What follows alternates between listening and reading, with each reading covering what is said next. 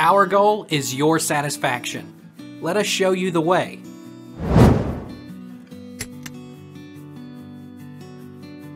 What do they yell in curling?